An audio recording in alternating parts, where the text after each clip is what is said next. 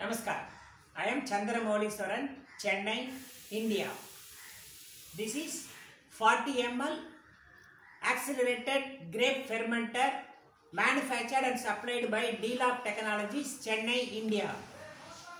With this, we can prepare 4 liter processed grape juice for further processing. Let's see how to do it.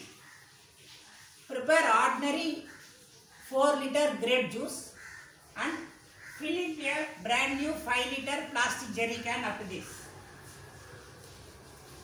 Shake this pouch once. With the scissor, make a very small opening in a corner. Very small opening.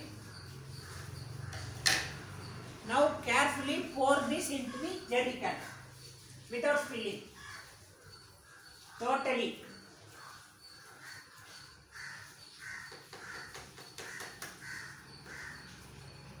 Close the jerry can inner cap tightly and outer cap also tightly.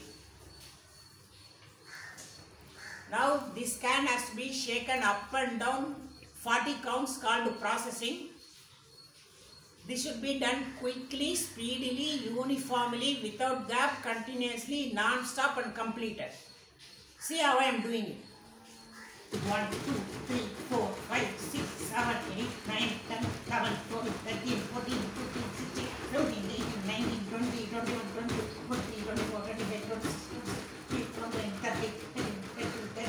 34, 30, 37, 38, 39, 40.